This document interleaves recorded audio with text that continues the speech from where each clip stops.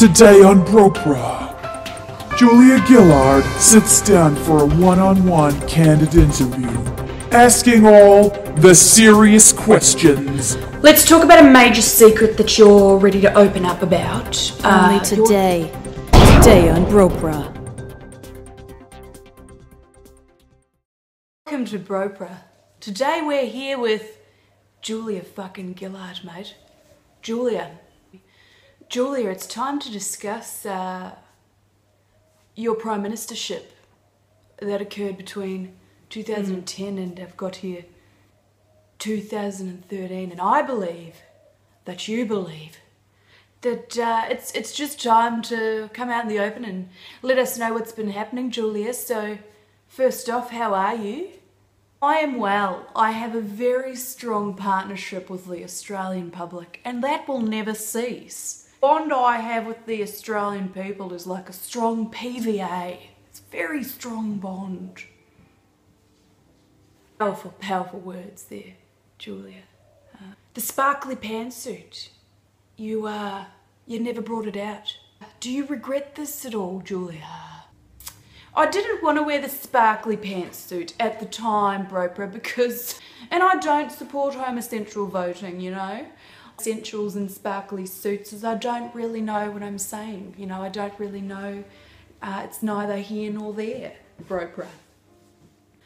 Let's talk about a major secret that you're ready to open up about. Uh, your daughter, Benita Gillard. Um, why did you never reveal that you were a mother to the people?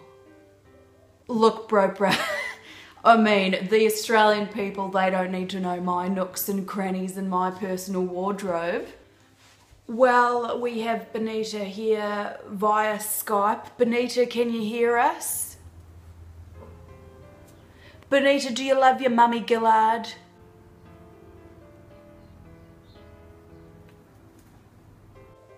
Thank you for that, Benita. Powerful words.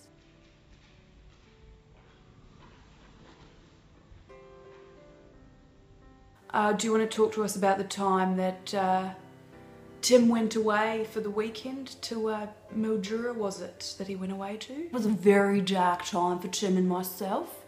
Look, Tim went away to Mildura for the weekend, um, went on some kind of um, manly safari um, around Mildura. They went to a couple of the public bars and, um, you know, wandered down by the lake and pitched a tent. Fortunately, at that time I had no hair, hairdresser. I had no makeup.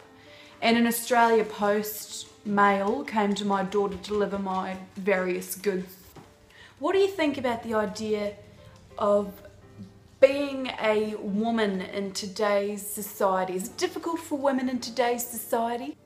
Oh, look, bro, it is a very difficult time for females in uh, the modern society. I mean, we have a lot of unique pressures on us that just simply men, the men of Australia don't have. Um, specifically, we have to wear padded bras. Uh, once a fortnight, we might have to clean out our pantry and get rid of the used foods that are, are not, they're perishing in our cupboard. Now, that is difficult for any female. But the one great thing about females, I find, is that we unite together. Uh, we support one another. We don't bitch and moan about other females. Lol jokes, that's exactly what we do. Words. Well, tune in next week to Broprah. We'll be interviewing Kerri-Anne Kennerley about how she chemically straightens her pubic hair. Thanks for tuning in.